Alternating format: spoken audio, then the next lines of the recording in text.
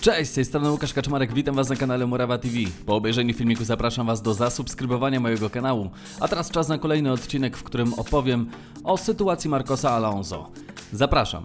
Lewy obrońca Chelsea znalazł się ostatnio w kręgu zainteresowania dwóch madryckich gigantów Realu oraz Atletico.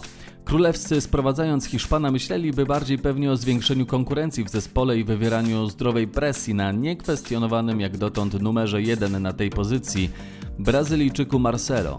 Atletico z kolei w kontekście Alonso myślało jako o następcy innego Brazylijczyka, Filipe Luisa, który naciska na transfer do PSG.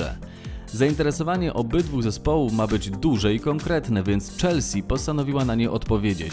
Raczej Londyńczycy nie są skłonni pozbywać się Hiszpana, tym bardziej teraz, więc postanowili dać temu wyraz w swoich oczekiwaniach.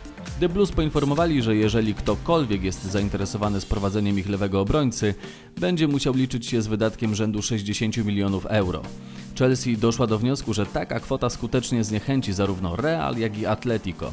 Czy jednak na pewno? Sam fakt, że podali jakąkolwiek cenę może sugerować, że transfer jest możliwy. Co na to sam zainteresowany? Zawodnik przekonuje, że jest w Londynie szczęśliwy, no bo co ma innego powiedzieć. Ale istotne w całej sprawie może być to, że Alonso jest wychowankiem Realu Madryt. Natomiast Manchester City znalazł rozwiązanie problemu zastępcy Edersona po tym, jak poważnej kontuzji na treningu nabawił się Claudio Bravo.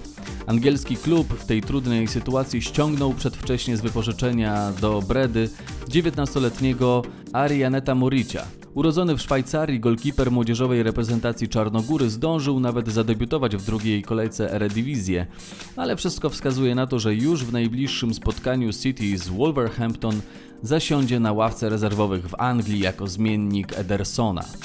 Breda od lat współpracuje z Manchesterem City, zapewniając młodym piłkarzom The Citizens rozwój i ogranie w Holandii. Dlatego tak łatwo było przerwać wypożyczenie Muricia tym odcinku to już wszystko. Dzięki wielkie za uwagę. Pamiętajcie o tym, żeby zasubskrybować mój kanał, jeżeli jesteście tutaj pierwszy raz, a chcecie otrzymywać wiadomości z pierwszej ręki o piłce nożnej, to koniecznie to zróbcie. Dajcie też łapkę w górę, jeśli odcinek Wam się podobał, a w komentarzach napiszcie mi, jak sądzicie, czy Marcos Alonso zostanie w Chelsea, czy przejdzie do któregoś z hiszpańskich gigantów.